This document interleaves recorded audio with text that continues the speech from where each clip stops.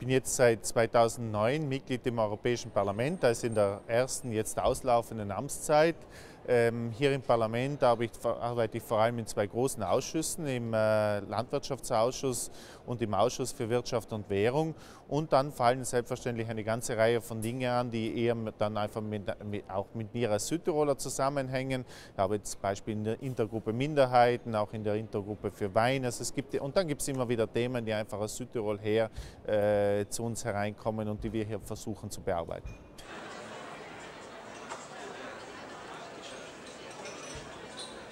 Ich halte Europa für einen faszinierenden Kontinent. Das Europa ist ein Kontinent, wo in den letzten 2000 Jahren Geschichte, ähm, Kunst, Demokratie entstanden ist, aber ein Kontinent, der auch immer Zentrum von Konflikten in, in, in der Welt war oder von den Konflikten in der Welt ausgegangen sind.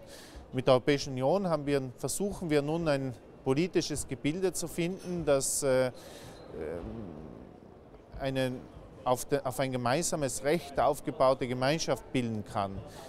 Ich halte das für einen sehr interessanten Prozess, weil dieser Prozess letztendlich dazu führen könnte, dass es ein wirklich interessantes demokratisches Gebilde gibt, wo, wo es Regionen gibt, die entscheiden, was auf regionaler Ebene entschieden werden kann, wo es Staaten gibt, die entscheiden, was auf, auf, staatlicher Ebene entschieden werden kann und wo es dann vor allem die Europäische Union gibt, die sich um die großen Angelegenheiten kümmert. Und das könnte tatsächlich ein interessantes, auch in der Welt vorbildhaftes Modell der Demokratie werden.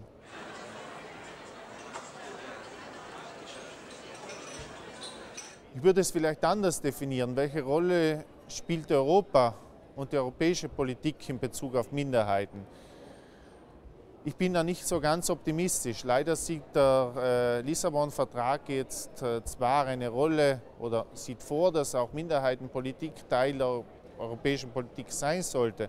Aber wenn man sich dann konkret anschaut, was passiert und wie schwer es für uns manchmal auch ist, äh, zu äh, den, den, Kolleginnen und Kollegen hier verständlich zu machen, dass Minderheitenpolitik ein Teil der europäischen Politik sein sollte dann ist es manchmal wirklich Sisyphus-Arbeit. Also äh, das ist ein Bereich, den, den, es zu entwickeln gilt. Ich denke, dass äh, Europa sich überlegen muss und überlegen soll, wie, wie dieser Kontinent mit den Hunderten von Minderheiten, mit den vielen, vielen Sprachen auch umgeht.